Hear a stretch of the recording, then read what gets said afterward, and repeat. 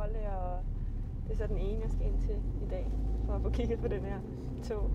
Og jeg har selvfølgelig fået øh, hende, der ikke kan engelsk. Den mandlige læge kan godt lidt engelsk, men det kan hun ikke. Så det bliver lidt spændende. Der har jeg efterhånden været et par gange på en skadestue. Det er ved at være noget tid siden. Men det er bare lidt åndssvagt, jeg skal det på grund af en tog. Helt tilbage i 2009. Jeg var spillet håndbold i Team Tvis Holstebro, men havde været på, i Nordsjælland til min lille søsters fødselsdag.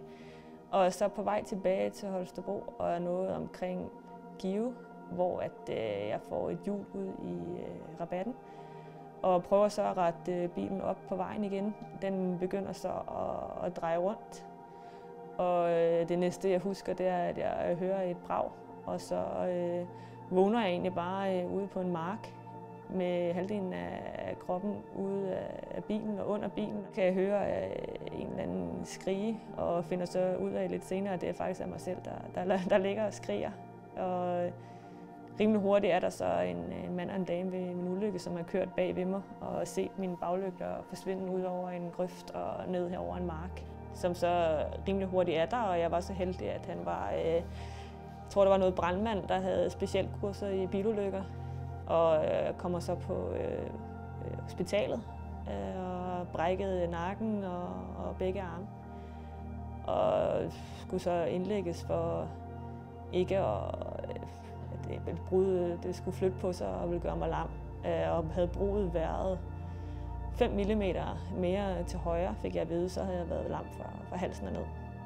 Og så havde jeg i hvert fald ikke siddet her i dag. Jeg skulle have krav på i, i tre måneder, øh, indtil mit brud i nakken var, var helet igen. Og dagen efter jeg får den her krav af, der står jeg inde på håndboldbanen og, og træner håndbold.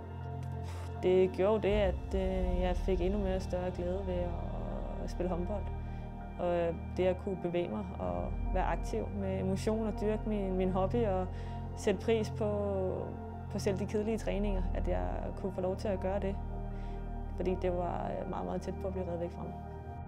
Jo, det er i hvert fald nok øh, hævet min smertetærske øh, betydeligt. Øh, det sætter jo skader i, i perspektiv.